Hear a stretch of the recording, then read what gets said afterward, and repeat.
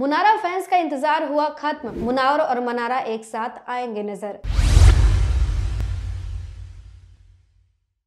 Hello, आप देख रहे हैं फ़र्स्ट इंडिया टेली। मैं हूँ रजनी। बिग बॉस 17 तो खत्म हो चुका है, लेकिन जो उनके कंटेस्टेंट हैं, उनके चर्चे नहीं खत्म हो रहे हैं और हर सीज़न में देखा जाता है। अब एक के बाद उनके प्रोजेक्ट्स सामने आ रहे हैं, जहाँ एक तरह अभिषेक और मनारा का म्यूज़िक वीडियो शूट हो चुका है।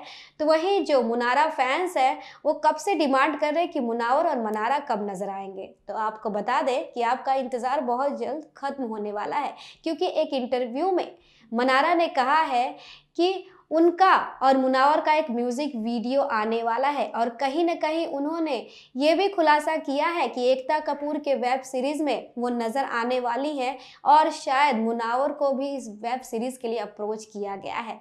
वेल well, क्या आपको पता है, जो अभिषेक के साथ मनारा का म्यूज़िक वीडियो आया है, पहले वो मुनावर को ऑफ़र किया गया था, लेकिन मुनावर ने कहा था कि उनके पास ऑलरेडी इतने सारे प्रोजेक्ट हैं कि वो उसे टाइम नहीं दे सकते। जिसके बाद अभिषेक के साथ मनारा ने ये म्यूज़िक वीडियो किया। लेकिन कहीं ना कहीं जो मुनावर फैंस और डिसअपॉइंट हो गए थे, वो मांग कर रहे थे कि मुनावर और मनारा कब साथ में नज़र आएँगे, क्योंकि बिग बॉस के घर में जिस तरह से दोनों की बॉन्डिंग नज़र आई थी, उनके रिश्ते पर भी कई सवाल किए गए थे।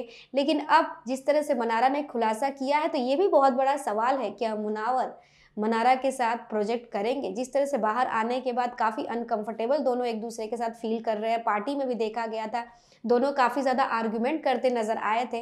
तो कहीं ना कहीं ये भी बहुत बड़ा सवाल है कि एकता कपूर के वेब सीरीज़ में मुनावर और मनारा साथ में नज़र आएँगे। लेकिन मनारा ने तो इस बात का हिंट दे दिया है कि बहुत जल्द वो मुनावर के साथ एक म्यूज़िक वीडियो में नज़र आने वाली हैं। और हो सकता है एकता कपूर के वेब सीरीज़ में भी नज़र आए। वैसे तो एकता कपूर अपने नागिन सेवन के लिए भी तलाश कर रही है। वेब सीरीज़ के लिए भी तलाश कर रही है एक्टर और एक्ट्रेस की। हो सकता है मनारा और मुनावर वेब सीरीज़ में एक साथ रोमांस करते हुए नज़र आए। वेल, आप कितने एक्साइटेड हैं? मनारा और मुनावर को साथ में देखने के लिए हमारे कमेंट सेक्शन में जाकर कमेंट करके ज़रूर बताएँ। चैनल को लाइक शेयर एंड सब्सक्राइब करना बिल्कुल ना भूलें।